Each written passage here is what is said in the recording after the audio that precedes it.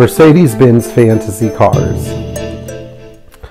In my estimation, a Mercedes Benz fantasy car is a Mercedes that should have existed, that never quite existed, or maybe was prototyped, but never got past the drawing board or the prototype stage. So, we're going to talk about some of these cars and how one could possibly build one today. Um, the first Mercedes Benz fantasy car that I think a lot of you might think of would be the 280 SL 3.5. Bob Hatch of Hatch and Sons with his shop foreman Jeff Cody and his sons uh, actually did build two of these cars. One was a stick shift and one was an automatic. And they both used the 117, 116 3, uh, 980 3.5 liter engine from a 280 SE 3.5 coupe and the uh, same automatic transmission, and the combination does work. In fact, you can build, you can install an M117 engine in a Pagoda SL just because of the subframe usage crossover with the 280 SE 4.5, which was also a 117 power plant. It's a shame that Mercedes didn't build these cars, but there are more that have been on my mind as well. How about a 114 coupe with the 3.5 or even 4.5 liter engine? After 1971, the U.S. offerings for these cars became so anemic because of emissions controls that a V8 would have really spiced things up in this model line. And it can be done, I wouldn't necessarily be opposed to it if it were done right. So uh, imagine a 280C with a 4.5 liter engine or even a 5 liter European aluminum V8 this sort of combination would be magical and no doubt highly collectible in today's day and age. Even with 180 horsepower from a low compression 4.5 liter engine, a 280 CE 4.5 would have been a real rocket ship. Another mythical car that I wish existed was the 300 SE 6.3 coupe. When Mercedes first developed the 6.3, they actually developed it out of the 250 SE Coupe platform, which Eric Waxenberger built his first prototype.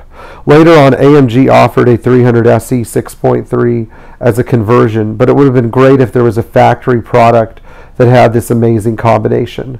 I'm sure it would have not, the, the coupe body would not have been rigid enough, uh, would, would have been rigid enough, but a cabriolet body probably would not have been. So a 300 SE cabriolet, but a 300 SE 6.3 coupe might not have made complete sense at the time. And that's why I can understand Mercedes upgrading the W109 series cars only. Now, a fourth car that I think would have been a boatload of fun would have been a 500E, but not a 124 series, a 123 series car. Technically, you can build this car with an M117 engine and a 230E or a 280E because all of the wiring is there. The M117 engine, in fact, will bolt right into the 123 chassis. And it is possible, but I wouldn't make one of these out of a diesel. The diesels are just too good, they're too practical, and they're too reliable. In other words, the diesel on the opposite end of the spectrum was the other perfect car because it performed so well and had such excellent fuel economy.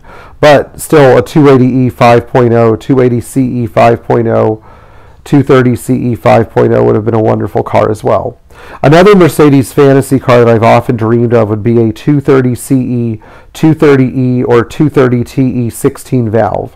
All of these cars used the M102 engine, and that means that a 16 valve Cosworth engine would be a bolt-on. In fact, a few years ago there was a 230 CE 16 valve Cosworth engine for sale uh, on uh, on MBCA.org.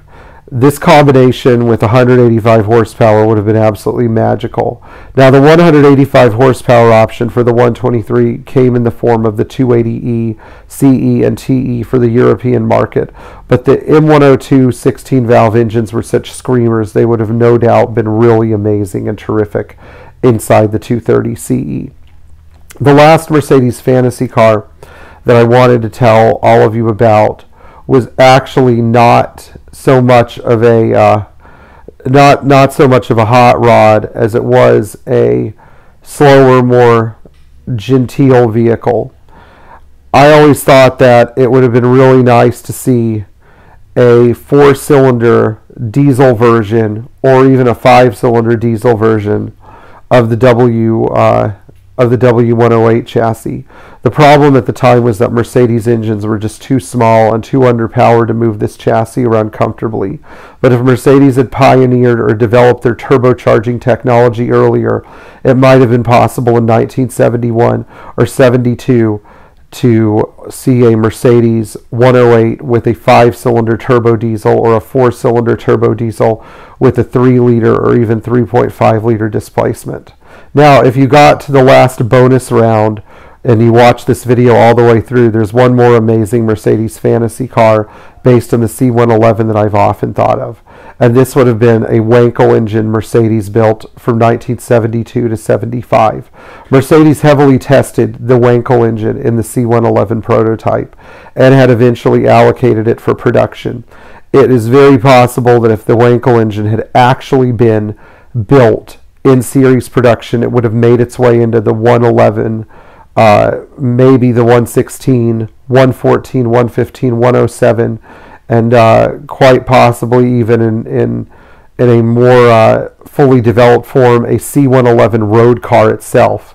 This would have been ama- an amazing vehicle, and it would have been wonderful to have a Wankel engine Mercedes. So, if you made it this far, I appreciate you watching.